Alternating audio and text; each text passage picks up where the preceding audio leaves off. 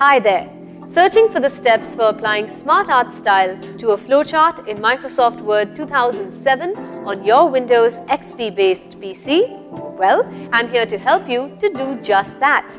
At iYogi, we attempt to ease the frustrations you experience with daily use technology. Now, a smart art style is a combination of various effects, such as line style, bevel or 3D, which you can apply to the boxes in your smart art graphic to create a unique and professionally designed look. Also, you can customize your smart art graphic by moving boxes, resizing boxes, adding fill or effect and adding a picture. So here's how you can apply Smart Art Style to a flowchart in Microsoft Word 2007 on your computer. Follow me. Open Word document.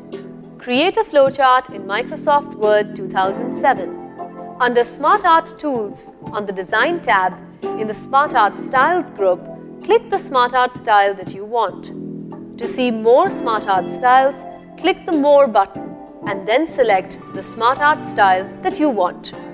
So you see, by using the simple steps given in this video, you can easily apply Smart Art Style to a flowchart in Microsoft Word 2007 on your Windows XP based PC. Don't you just love technology? At iYogi, we're on standby to help you get more out of your PC, along with its related software and programs.